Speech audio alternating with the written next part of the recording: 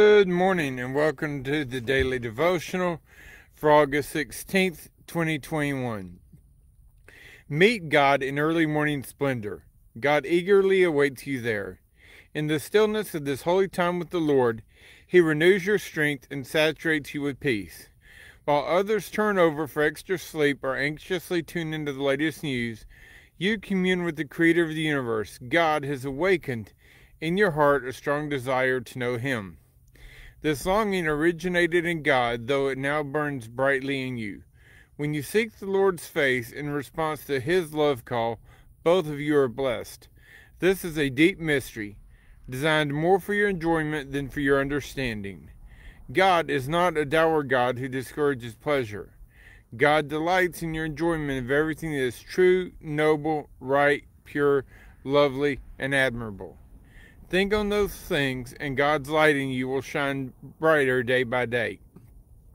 Scripture But those who hope in the Lord will renew their strength. They will soar on wings like eagles, and they will run and not grow weary. They will walk and not be faint. Isaiah chapter 40, verse 31. One thing I ask of the Lord, this is what I seek that I may dwell in the house of the Lord all the days of my life, to gaze upon the beauty of the Lord, and to seek him in his temple.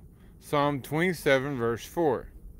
Finally, brothers, whatever is true, whatever is noble, whatever is right, whatever is pure, whatever is lovely, whatever is admirable, if anything is excellent or praiseworthy, think about such things. Philippians chapter 4, verse 8.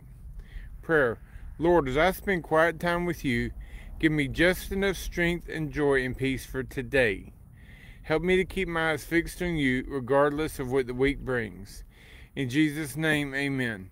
And I hope everyone is having and continues to have a happy, healthy, and blessed Monday and week to come. God bless, and we'll talk to you tomorrow. Bye for now, folks.